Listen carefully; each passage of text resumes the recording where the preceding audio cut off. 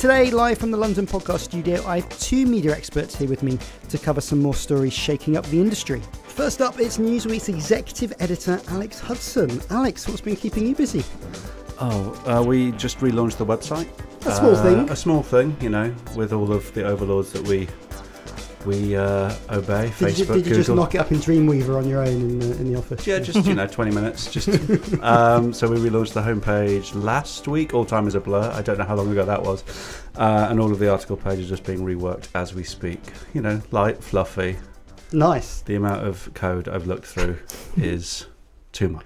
And do does the nav bar appear at the right place and all of those all of those things? Two weeks before it launched, it was manic, and now everything works surprisingly well. Good. Well, uh, you can go and have a look at that at newsweek.com. Correct. Also with us is Jane Ostler, EVP of Global Thought Leadership at data analytics company Kantar. Hi, Jane. Hello, how are you doing? I'm good. And what have you been working on recently? Well, we had a big launch this week of the Kantar Creative Effectiveness Awards, which is all the highest scoring ads around the world. Everything that we measured last year, we ranked them all digital, social, TV, print, outdoor, and we gave everybody awards this week. Nice. So Everyone loves getting a bit of perspex. yeah, the clients love it, although these are not Perspex awards nowadays. They're sort of seals that you can put on LinkedIn and things Oh, like of that. course. Yeah. Of course. Yeah. Uh, dig- digital awards. Yeah, of Uh, course. and what what is the best performing thing? What did well? The best performing social ad or digital ad was an ad by Cadbury's, actually, where a lady's working in a petrol station, gives her dad, uh, uh, her dad buys her a bar of chocolate, and there's a bit of a reveal. It's a soft sort of uh, humour, but the, the dad is being very generous with the chocolate. And the best performing TV ad was a brilliant ad by KFC in France, where a server at KFC goes back through the ages and goes through the kind of nostalgic what KFC used to be and then suddenly leaps back into the modern day. So he's gone into the kind of multiverse, come back again. So lots of current themes that you see in the cinema and things like that. It's- Oh, fun. yeah, good. I need to, need to check those out. Yeah. Uh, and just before we, we've started recording, we've just seen uh, some news from BuzzFeed in the US. This is from Chief Executive Jonah Peretti saying that they're shutting down BuzzFeed News. And that's as part of a, an effort to cut 15% of its workforce.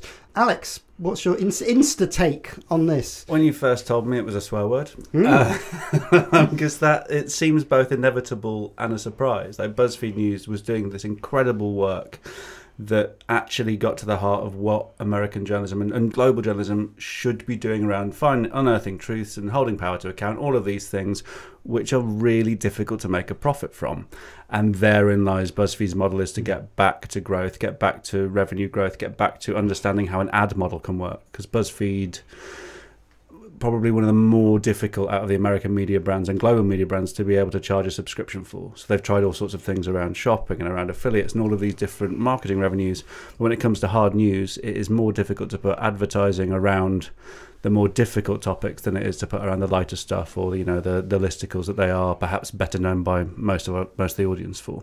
And Jane, it's, it's difficult because BuzzFeed did so well from the algorithms of Facebook and, and other social platforms. Uh, tweaks to those can suddenly destroy a business, can't they? Exactly, and I think everybody uh, knows that the changes to the algorithms have resulted in different kinds of content being presented to you on on social feeds, and you know, whereas maybe you know BuzzFeed content may have appeared prevalent sort of three, four, five years ago. It just isn't now. Hmm. And these things, you know, the advertising models do rely on reach ultimately. You've got to get the big numbers in. So the dependency between all the platforms is is really interesting. I guess in a way, you know, you could depict this as another in the series of tech related layoffs. Hmm. I noticed there was a, a comment in, in one of the pieces about BuzzFeed saying that they had overhired. So if these things are naturally presented as a correction, hmm. uh, whether they are or not. I mean, Alex, it must be something you guys obviously think about at Newsweek, where where traffic comes from and kind of keeping people on site and the primacy of, of the website again. So we could get into the weeds of this. You know, third-party cookie data is slowly, quickly dying. It's been mm. dying for we, you know, we've talked about on this in this not this very studio, but many other studios about it before. You know, third-party cookies meant to be dying. It's, it's not quite there yet, and the simple solution is what will make people come to your website directly. And now we you know, the Web three future of decentralized internet and how those big social companies are going to struggle for volume. So it's a very long, very pretentious way of saying the idea of this mass market internet is dying, and we're going to go back to at least an extent where you buy a newspaper, it, it will be digital. So it'll be which ones do you align with, which ones do you support, which ones do you believe in, which ones provide the content that you you think you need, want, whatever. And so Newsweek's role in that is we've we've pinned our sort of flag to the mast of fairness and of disagreements and trying to find that thing and we're not scared to tell the difficult stories. We will show both sides of them and that's where we think we stand out in the market well uh, telling the truth is another big topic of the week particularly uh, in america as one of the most closely followed media trials of the decade came to an abrupt end before it started on tuesday when fox news agreed to pay 787.5 million us dollars to dominion that's the voting uh, machine company for falsely claiming that dominion had rigged the 2020 us election against donald Donald Trump. Jane, I mean, are we surprised that uh, Rupert Murdoch decided not to appear in the dock and just got his checkbook out instead? Well, it's the it's the easy way out, isn't it? Not to have a big fight and to make the story even more public than it already was, and have all the dirty laundry being aired. I guess, you know, interesting to note that Dominion were actually uh, requesting 1.6 billion, so they got just under half of what they had asked. I'm not surprised it was settled um, before it went to court. That seems to be a very sensible approach, but it does raise a lot of issues about how news brands and media brands need to be super extra careful about what they say. You know, they can trash reputations, they can build them within seconds, and it does raise a question about like what scrutiny is put on the copy that is being produced or the you know the words that are being spoken about on a TV screen. It's a risky business. Alex, the libel rules in, in the US, it's a pretty high bar you've got to get above uh, for it to, to cause you trouble. Uh, and you know, the word malice comes up a lot. the First Amendment is vital. Pretty much everyone was saying, well, you, they hit the malice uh, line um, and they had a, a, pretty good chance of losing. Defamation in the US, firstly, it's incredibly complicated. It's not federal, it's state by state. And, how, and that is, I am still learning every day coming from a UK background and now working in a US publisher. It is mind blowing. But what we've seen recently is that defamation is changing slightly, or at least how the American legal system is seeing defamation. And I think um, the Depp Heard thing is, mm. is is perhaps the clearest example of that. So when that came up, few people I spoke to thought that would be a success.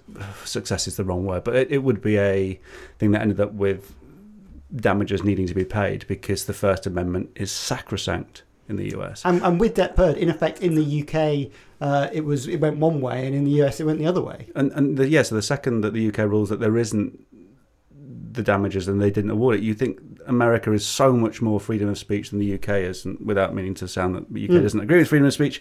And so with this with this case, it questions on Fox previously there is a real freedom to share your opinion, however controversial or polarizing or factually questionable across all of the major US networks it might be, because it is a fair and honest opinion. Mm. How do you prove malice? It's incredibly difficult. And here it's more just how much is it worth for this just to go away? And the the view is that it is worth more than the seven hundred and eighty seven point five million dollars for it to go away.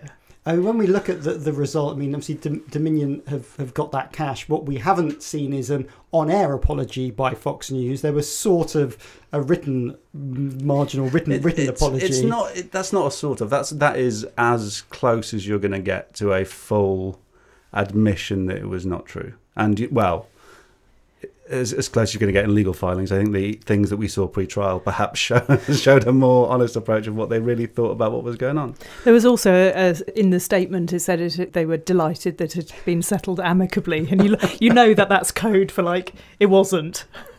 Uh, and, and, also, it's quite a lot to get to amicability. Yes, yeah, it's a high bar. it's not even the biggest suit that Murdoch has filed. Like he, his his second wife, the, that claim went above. What was that? That was uh, one point seven billion dollars. Second wife in nineteen. So it's it, it seems like a, such a ridiculous amount of money, and it is such a ridiculous amount of money. But it, it's all relative. Well, it's about five months worth of, of Fox Corp profits Uh, and there was reporting today that they'll get 200 million back as basically a tax wheeze. Uh, so whether so if you're a, a, US taxpayer, you'll be funding the lies that, that, that came out of, of, Fox News. And obviously, what was amazing about this story was the evidence they had that internally uh, they knew it was rubbish, but the audience were, or the Fox News was scared of its audience. I mean, some of it you could read actually they're a very audience focused company, uh, and a lot of media companies maybe don't have the same focus. Clearly, they went a little a little too far uh, on that, but it was amazing reading some of that material, wasn't it?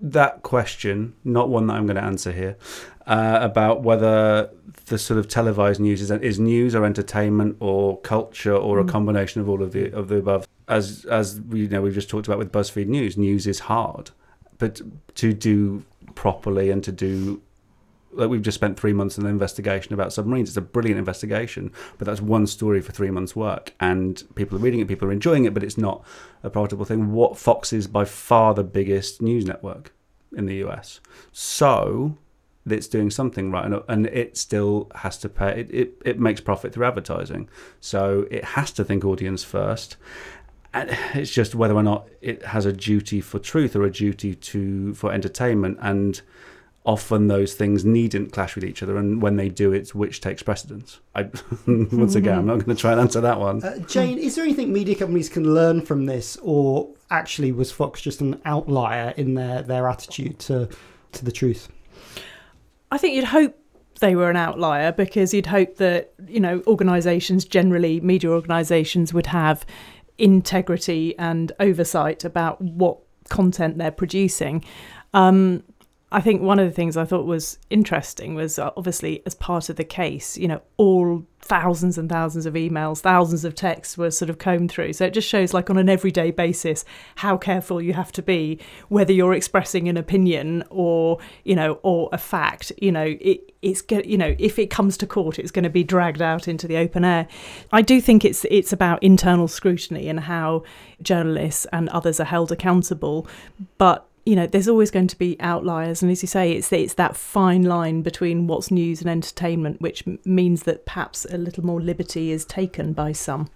And it's that liberty. So it's America is the outlier. So eighty percent of countries still have defamation as a criminal prosecution, and this SLAPPs, which I keep forgetting the the long number, strategic lawsuits against public participation, and all of these things are meant to meant to stifle. So you can slap that's the where it hmm. comes from a defamation suit on on things that criticize the government that you don't mm. want that the those officials don't want to see heard and then there is a prevention of publication or repercussions that could end up in prison and so that that's why the defamation law exists in the way it does and that's why it's really vital that we don't see this individual case as, as serious as it is as, as a wider thing and we need to focus on what's the damage that SLAPPs is doing across the world uh, also in the news, uh, streaming subscriptions. It's a topic that we, we've talked about a lot on the show.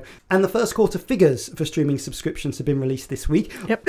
By none other than Kantar from, from your colleagues. Indeed. Uh, you reported total cancellations of 167,000 paid for streaming subs. Where did you get it all from? We run a service at Kantar called Entertainment on Demand, which is run across a number of different countries. And we survey a large number of people who have streaming subscriptions and we ask them questions about what SVOD hmm. organisations they subscribe to, what they watch, whether they've churned, their intention to churn, a whole load of detailed questions. And from that, we extrapolate that to the populations as a whole. And so we can come up with these these kind of big numbers. But we drill down a bit more than that. So we can talk about, you know, what drives platform uptake and what drives net losses for different platforms. So we also discovered, for example, in, in this quarter that, you know, ITVX Premium and mm-hmm. Apple TV Plus have actually had fairly good growth as you say, there's been a net loss of nearly 200,000 subscribers. And, you know, but we also talk about the programmes. So we know The Last of Us was the number one stream programme. Clarkson's Farm, I don't know if you've ever yes. watched that on Prime Video, was number two. But also, like, really interesting insights like what's driving Prime Video, which is doing very well at the moment, and it's sports on Prime Video because mm. they've been acquiring lots of sort of sports rights, has driven one in three new subscriptions there you know, and Netflix, their satisfaction has fallen. So that's one of the issues there. But there's also kind of cost of living crisis Yes. generally, which is looking making people look at. Well, Netflix was, I think, Yeah. hit the hardest, had the largest loss Yeah. of absolute numbers, but I guess it's sort of the biggest. So would you expect that, or is, are, are they in a little bit of trouble? I think it's they they are the biggest, yes, but that also means they've got the biggest challenge in terms of retaining existing customers with with new content that continues to appeal to them. They've also got some other things going on behind the scenes. So they've sold off their DVD sort of Mm. post business. They've stopped that. And also, they're making, as you know, incursions into the ad supported business, which I haven't seen any numbers reported on that for a while. It's clear it's not going to take over the world, you know, it's only going to be a, a part of how their business is supported.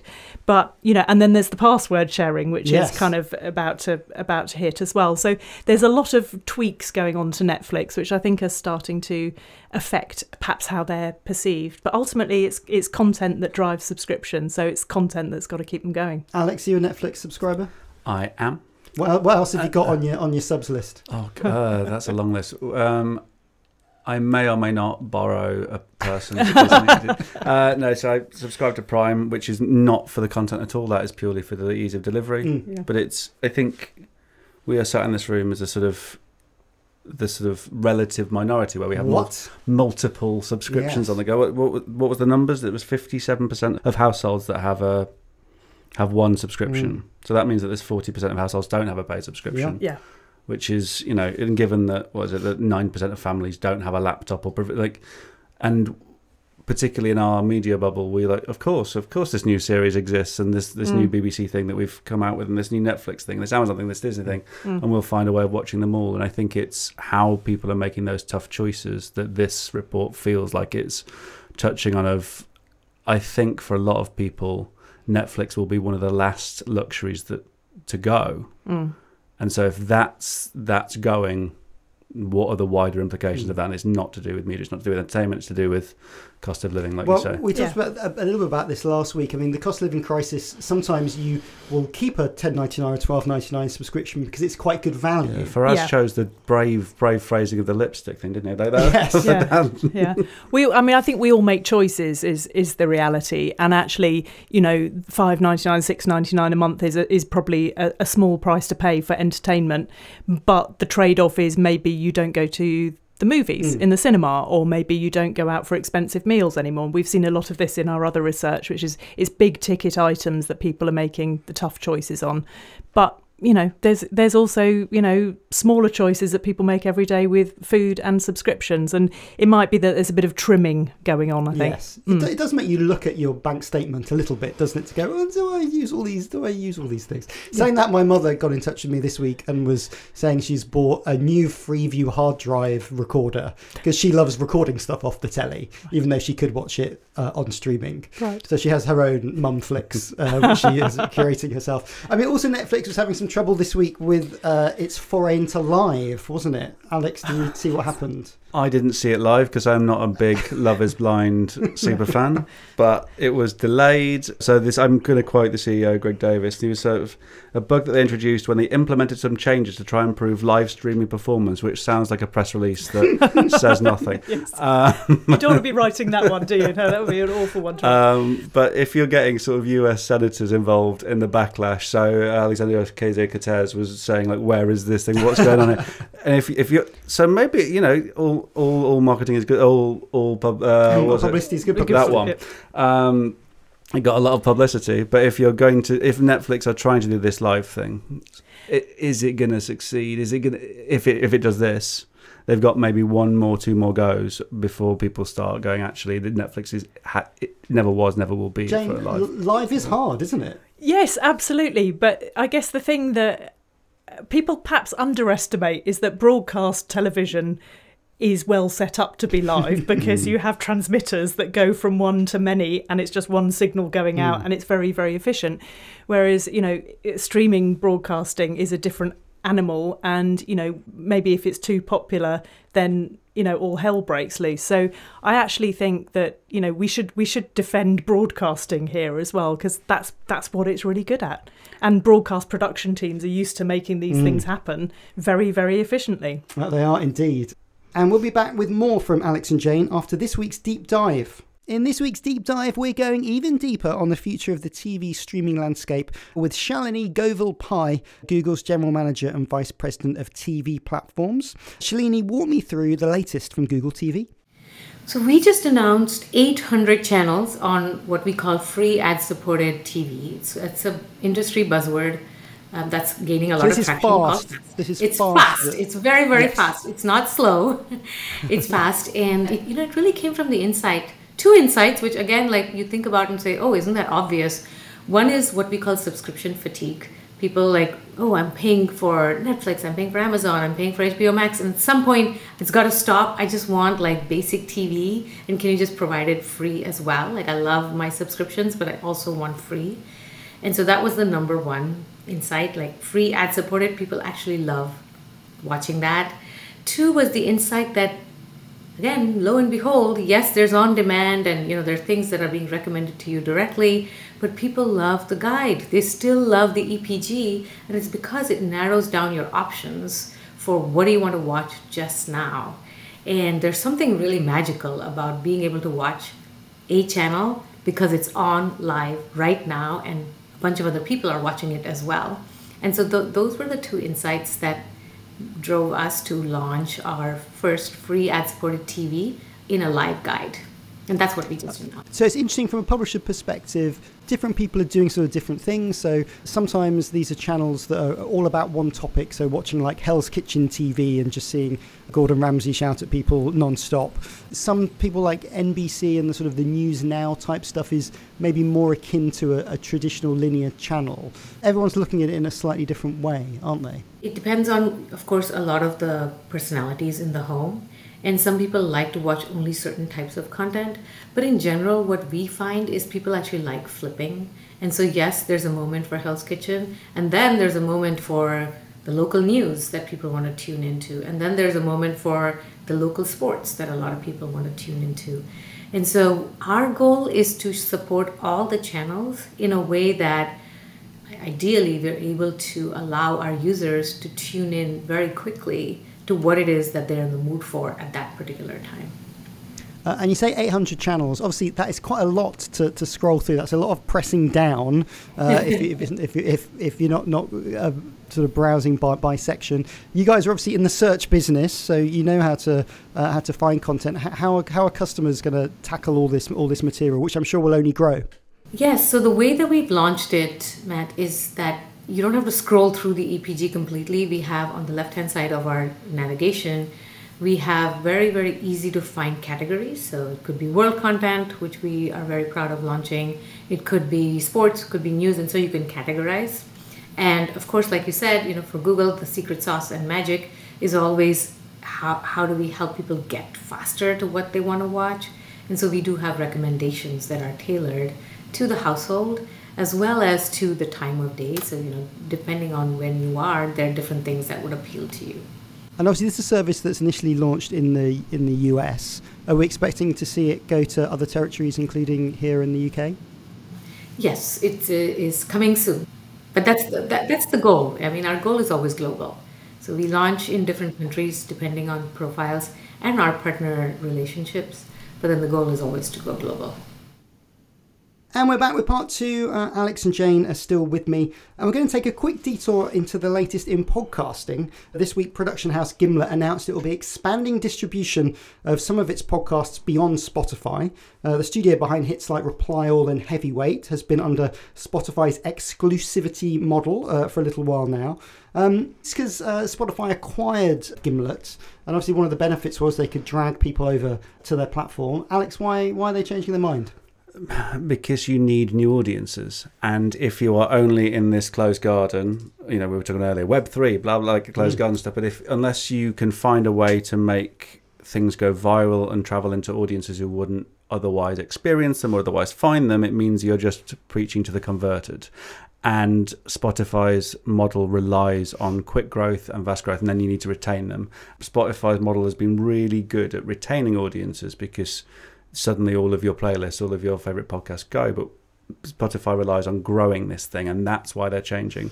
Because particularly in long form, you're not going to find a 10 second clip that's going to fly from a podcast unless you're as big as Joe Rogan, unless you're already that size. For these mid-sized things, you have to seed the entire thing into communities. And if you're looking at the way that Patreon is doing a lot of podcasting, or the podcasters that are succeeding on Patreon, it's here is one podcast a week for X and if you if you want to become part of the club, the exclusive club, you get extra bonuses. You can have a pint with us whenever you want. That'll be ten pounds, fifteen pounds, twenty pounds a month. You know the, the tiered subscriptions thing.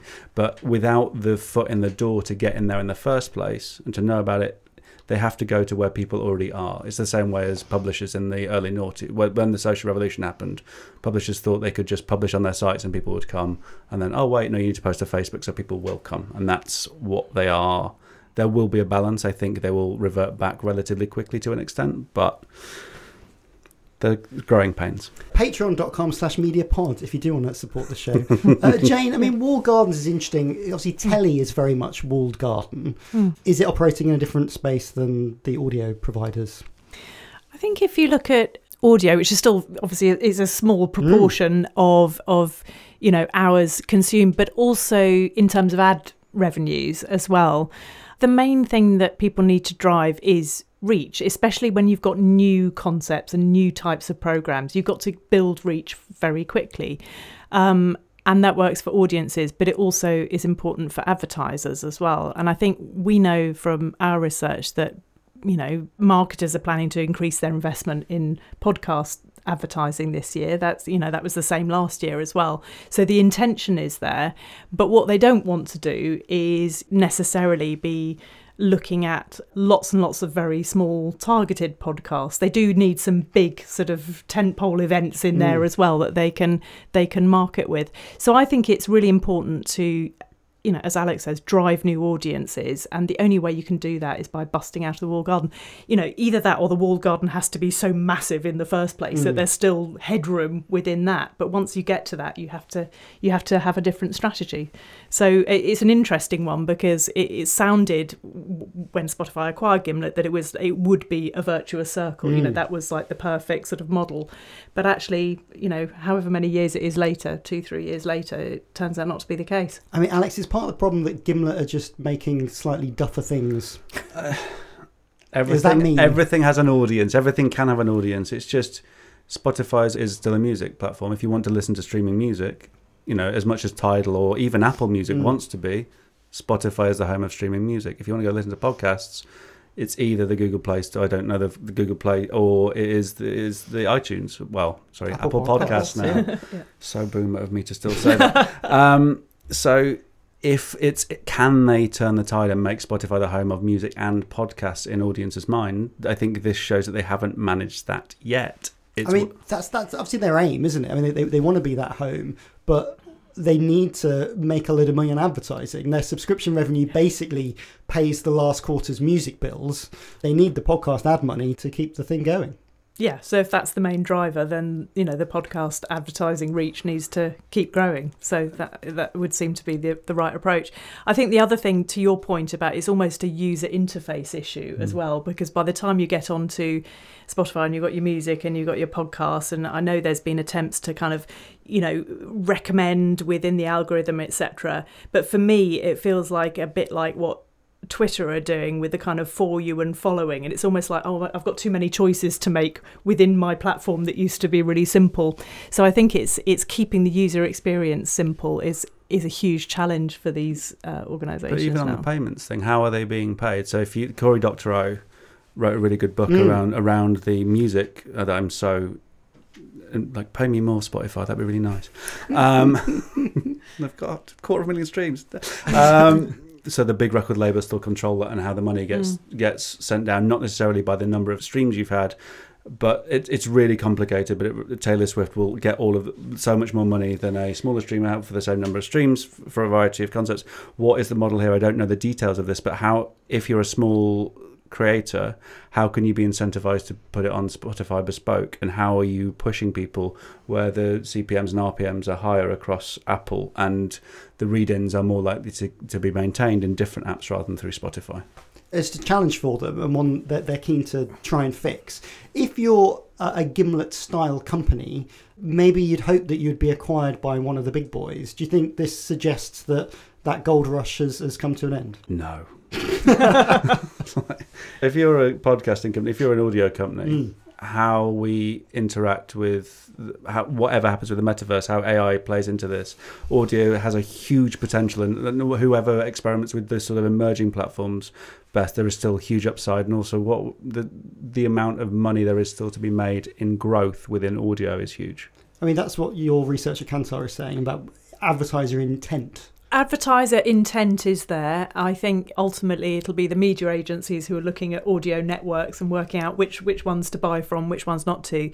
So having premium brands, good content, recognizable content that's proving its growth is vital. Well, the best content, obviously, attracts acquisition in this show is the media quiz. That's the core piece of IP that one day uh, I'll be on a high numbered TV channel talking about. But before we get there, uh, this is pilot number 421 of the Media Podcast. we'll see if uh, it works. Um, I've got three questions for you this week from the world of telly. All you got to do is buzz in with your name if you think you know the answer. So Alex will say Alex. And Jane will say Jane. Right, off we go. Question number one Doctor Who has announced the Doctor's most powerful enemy yet. Who is it? Alex. Yes, Alex. It's the person from RuPaul's Drag Race. Yes, this is. What are they called? Jinkx Monsoon. Uh, after winning two seasons of RuPaul's Drag Race, the drag queen's been cast in Doctor Who, and I think photos of them appeared uh, on the internet today. So Doctor Who's going to return in November this year uh, with uh, the first episode with the brand new 15th Doctor. Jane, do you think this, this reboot's going to work for them? Oh, I don't know. Doctor Who's always reinventing itself. Mm, That's the whole premise, isn't it, of the whole thing? So I guess I guess the producers need to try everything and also to continue being relevant for younger audiences. I think the audience is probably younger than we than we suspect. But yeah, I, I don't know. There are people who understand the core of Doctor Who, what's gone on. They know all the details. I'm not one of those. I'm a light viewer and I get confused every time I watch it, but I still quite like it anyway. So, Alex, Russell T Davies is back uh, for, for Doctor Who. When he brought it back the first time, it, it did very well. They've got loads of Disney money that's going to go into it too. Do you think they're going to manage to create a sort of Doctor Who universe? Well, therein lies the point, right? It doesn't matter how well Doctor Who performs in the UK because it is purely for profit. It is BBC's money making arm across a lot of the Americas and anywhere overseas. So, as much as the BBC would like to say, yes, it is vital that the, the UK audiences are, are really engaged some of the casting here, you can see how America might go a little bit polarized in some of in some of these decisions, and it is the it is an interesting and progressive and good choice to do so. I'll be interested to see the reaction both within bits of the UK and the US to some of these decisions. It's also interesting to look at like what stays the same as mm. well as what keeps mm. changing. So I think if you think about it from a kind of marketing point of view, they've got very distinctive brand assets which yes. have been going on for decades and they are consistent and they're used in every episode so we've got you know daleks you've got the tardis you've got the music the scarf you know so actually that is the constant thing that i think people rely on and find interesting the the icing on the cake is the changing characters mm. the changing doctor who's the new things they introduce but ultimately it's the constant elements, the brand assets that I think are interesting. And it brings the whole family, doesn't it? Because uh, mum and dad tune in because they remember it from when they were a kid and yep. bring their kids along. Okay, question number two. Uh, which blockbuster bust up will be turned into a three part Channel 4 documentary? So it's a, a bust up that was the source of a trial. Alex. Yes. Depp v. Heard. Yes. I know that it's part of Channel 4's big old. We're going to make controversial programs and see how much we can annoy the right wing, um, which is interesting. You know, they're going to show what they're showing during Prince Charles's. Uh, Prince Charles's um, inaugur- not inauguration. I'm so American. Well, King, coronation. King, King, King, Charles. In, King Charles. In fact, yeah. King Charles. Um, they are making the choice to show the Prince Andrew documentary, and so it's part of that push for Channel Four to go back to its you know word eighties nineties, big sort of push back into this counterculture. It's still behind ITVX in the way that they're really pushing their digital platform. So if they're going to be this voice of Gen Z and Gen Alpha, ITV is pushing them in that way. So how can Channel 4 go bigger, better, more different, more interesting, and then compete with YouTube and compete with everything else? And I mean, Jane, too soon. I mean, too Cha- soon. Channel 4's kind of 90s position of being uh, spiky, or 80s and 90s position of Mm. being kind of the spiky broadcaster. Mm. Uh, it's facing that attack from, from everywhere, and even as Alex was saying, ITV, which generally didn't get into this space before, it's tough for them. I think I think it is, and uh, branding is really important here. Like ITVX, Channel Four, you know, Four on Demand is now called Channel 4. Channel Four. You know, so I think that was an interesting decision to Mm. make. But you're right. This sort of, you know, the whole counterculture thing was invented in an era of no internet, no social media. Nobody was able to share anything really. So I think you know, media brands do thrive on difference, and if you want to be very different, you've got to constantly reinvent how that works and how you're positioned. But Channel Four have undergone some interesting changes recently. They're maintaining their status yes, they're at back on safer ground. They're back on safer ground. So I think we'll, you know, for me, branding is really important in media, how you position your different platforms. And I'm just interested that the on demand services is called Channel 4. I, I, I'm not sure that stands out for me. Yes, it's going to be interesting to see. They put out a load of pilots, like so, just just the pilots. They put them Mm. out to, and it just seemed to be a lot of naked people. That was the main. that was the main Yes. bulk of their piloting was just Yeah. naked people. Oh, they're on an adventure this time. They're going to this house, and all that. It was And naked people are available online in a number of different ways, I've heard. Uh, right, question three. Jane, I think you need to try and um, w- w- win back some honour. Yeah. I, I might not, though. Okay, here we go. Question number three. Which two TV companies have partnered to create an adventure reality show called Destination X? De- Destination X, and So- it's a it's a Belgian series, and it's just the same as everything else. Um, What? No, in this, you're in a coach with blacked out windows. They then show a bit of where you are, and you have to guess where you are. There's a Channel Four pilot of like naked alone. And whatever it was. It's the same thing. Just with clothes. It's just Yeah. give. Just put an escape room on. Just put a live stream of everybody going to an escape room, and then or and then have Danny Dyer present it, and then have a sort of lights off, lights off system. And at the end, someone goes on a date. So much, so much of that format. But don't do it streaming live. That's the most important thing. It's, so it's it feels like where, where is your where is your banker? So now, that this this how we've done task how Taskmaster has performed in these all of these multiple locations, really interesting format. Doesn't people are looking and sort of scrambling around to try and do this thing, and it's just it's the same. I mean, Jane, 49% share. I mean, we don't know loads about Belgian TV. That would suggest maybe it's got more of a chance than Alex's. It sounds quite high, doesn't it? Yeah. Uh, um, uh, we don't know enough about Belgian TV to know whether that's true, but it sounds quite high. And it also sounds like, on that premise, you know, let's not forget this is commercial as well. Mm. It should be quite attractive to sponsor or to advertisers who want to advertise in it. But nothing's truly new, is it? Ever in broadcasting, it's, it's, there's a bit of reinvention and sort of creativity on the top. to get on, to get on my high horse, really high horse. So there's, there's a brilliant sort of I forget her name, but there's an internet sort of expert around the future of the internet, and we're sort of saying that the influencer economy is dead, and we're now entering the, the age of the creator economy. So mm. the idea of just being a sort of vision of of what you think is attractive or enviable, which this show seems to play into, is audiences have moved on, and now it's about how interesting is this person? What are they creating? What stuff are they doing? What what can I learn from this? Am I informed, educated, entertained? You know, back to the Mm. BBC core principles. And so, if audiences are moving on, and I think that was a, it's a really interesting argument that I, I agree with. Then this feels like it is a couple of years behind. But do some people just want to sit back and watch people get off a bus going, I think this is Paris? we will we will see. And, and I will watch it on Gogglebox. That, that's how I consume this sort of content. Is what is Gogglebox is the perfect hour of the, that sort of content. That is just like, oh, I will agree with this person and this person. so Des- Destination X is coming to the BBC and to NBC Universal, to I guess Peacock and some of their platforms. Congratulations to Alex, uh, you won that quiz. What you win is the chance to lead all of Channel 4's uh, naked related programming Fantastic. uh, for Yeah. the next for the next twelve months. While Well done. And thank you both uh, for joining us today. Uh, where are you off to next? Because now we record in the evenings. People have exciting evening plans.